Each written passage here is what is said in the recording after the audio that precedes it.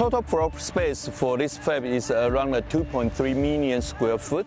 台积电点头，美国权威财经媒体 CNBC 获准造访亚利桑那州新厂，施工进度全曝光。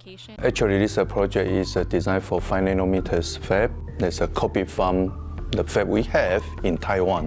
美国厂一比一复制台湾成功经验，台积电砸一千亿美元，力拼三年后产制五纳米晶片。美国虽是先进晶片产地，至今却没有五纳米厂。拜登政府的晶片焦虑终于能缓解。If you want more capacity, you have to build more fabs. And that's one of the reasons that we're moving to the U.S. Our customers want us in the U.S., the U.S. government wants us here. 耗资一百二十亿美元的美国厂，月产能将高达两万片。美国在全球晶片市占率很输亚洲，光是去年亚洲占近八成，美国却连两成都不到。随着美中地缘政治紧张加剧，有晶圆代工龙头坐镇，美国呵护至极。We're not going to have to worry about geopolitical conflict. We're not going to have to worry about another major pandemic. We will have these kind of manufacturing capacities on U.S. soil. 全球依赖台积电。一项数据显示，不论是新款 iPhone、自驾车 AI，甚至是军武用的超级电脑，使用的先进晶片，台积电就高占九成多。南韩巨头三星也退居老二，只占百分之八。但外界不知，创办人张忠谋却也曾被看衰。To get funding, he went to many named companies, and they told him, Morse.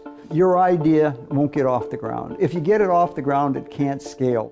台积电老将忆起他创业初期，面对 Intel 等晶片大厂环伺和投资人质疑，执意专注全晶圆代工，而被视为赔本的豪赌，有了意外结果。